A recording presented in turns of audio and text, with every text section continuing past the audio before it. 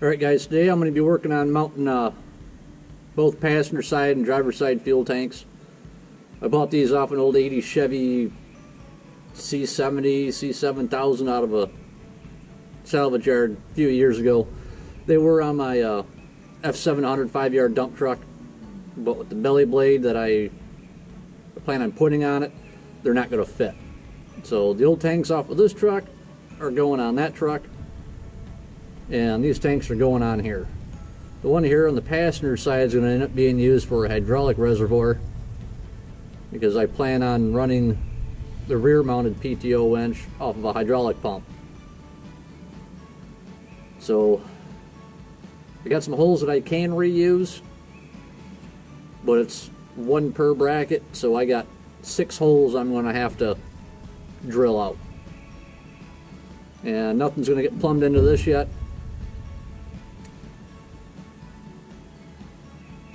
I gotta wait till I figure out what I'm gonna do for hydraulic pump, uh, hydraulic hose routing, suction line routing, return line routing, so on and so forth. And then I'll take this tank back out, drill the holes, weld in the bungs, reinstall it and plumb it. So we'll get this off the jack stands, get the brackets off, and uh, get to drilling.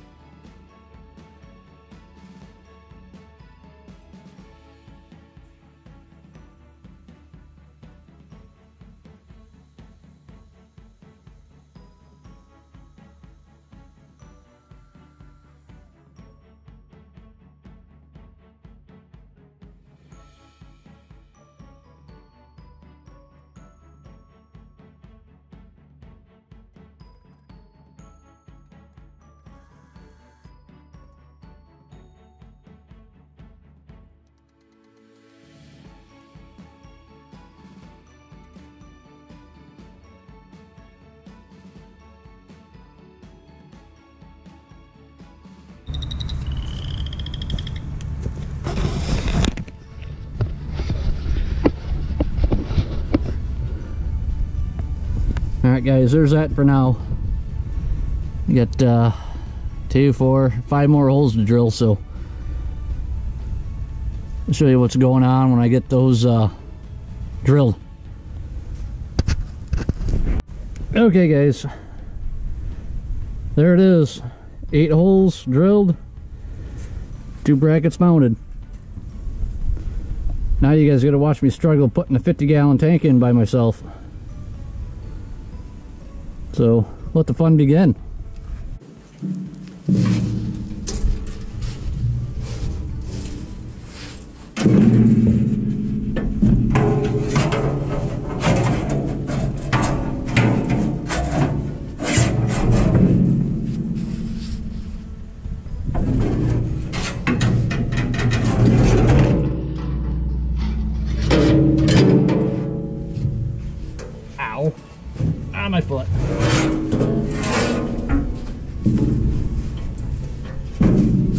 Ow.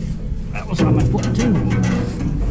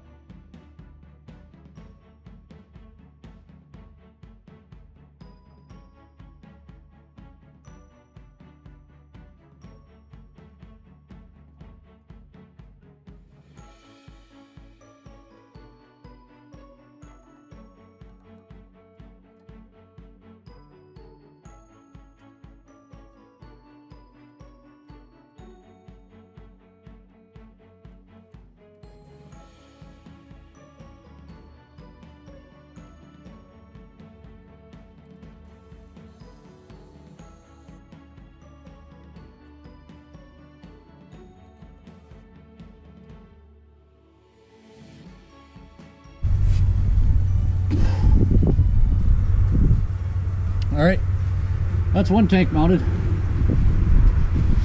Step back to a side shot here let you guys take a look at it.